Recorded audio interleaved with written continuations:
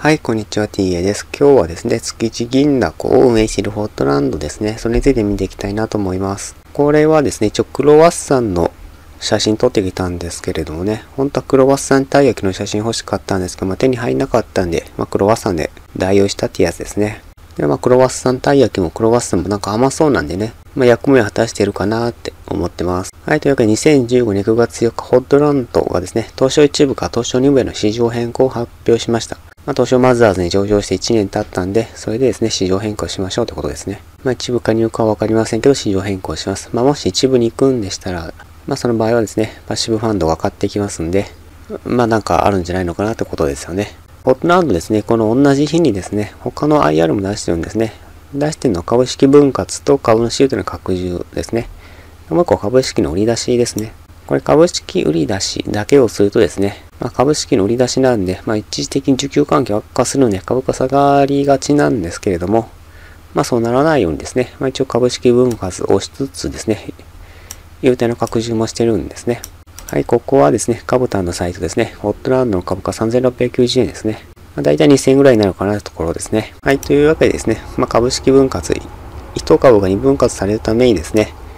まあ、大体100株買うのに、まあ、20万ぐらいになるかなところですね。1株が2000円ぐらいなんで、100株で20万ですね。まあ、それで優待もらえますよと。なんですけれども、分割した後もですね、分割する前と変わってないんですね。まあ、すなわち、まあ、一応、優待利回り2倍になったと言えますよね。2分割してるのに内容変わってないんでね。で、これ100株以上500株未満でね、半年で1000円なんで、1年で2000円分。20万の通して年間2000円なんでね、優待利回り1%ってことで、まあ、めちゃめちゃお得っていうわけでもないんですけれどもね、結構いいんじゃないのかなと思いますね。2000円分たこ焼き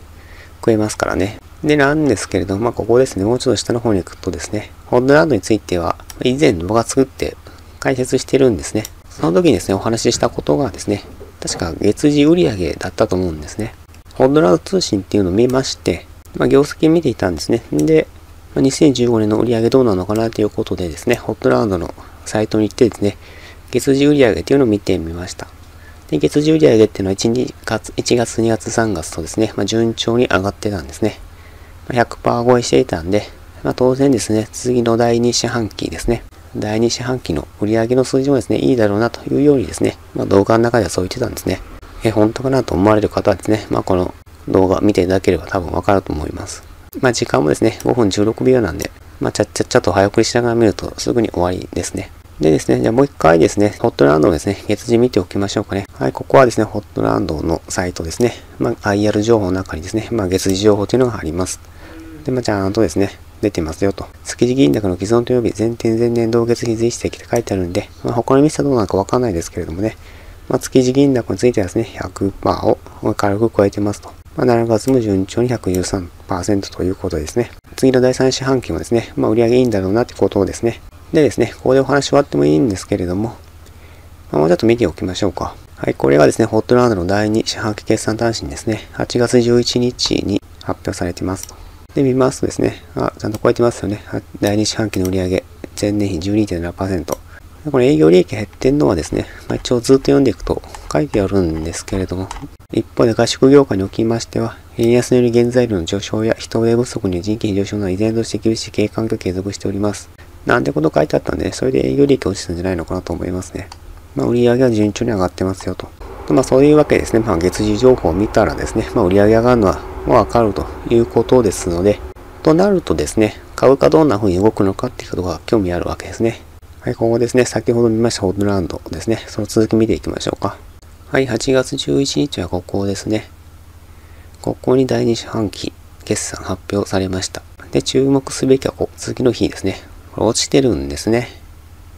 ここら辺が、まあ、株式取引の難しいところですよね。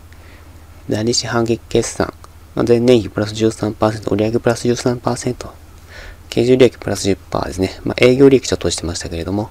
まあ、それでもいい数字だったんですけど、落ちてますと。これは何でかと言いますと、ホットランドのですね、サイト見て、月次情報を見ている人にとってはですね、いい数字出るっていうのは、まあ、明らかなんですね。まあ、そのためですね、まあ、ここら辺で明らかだったなということで、株価が落ちたんだろうなってことですね。先ほどですね、築地銀だこのホームページでですね、月次情報を見まして、まあ、第3四半期もですね、売り上げいいんだろうなということを見ましたね。まあ、7月良かったですよね。まあ、8月も多分いいんでしょうと。ということはですね、第3四半期の売り上げもいいわけなんですよね。第3四半期決算の発表前にですね、まあ、ここと同じような感じにですね、株価動いてるんでしたらですね、まあ、第3四半期の発表もですね、まあ、同じような現象が起こるんじゃないのかなというようなことが予測できますよね。というわけで、以上 TA でした。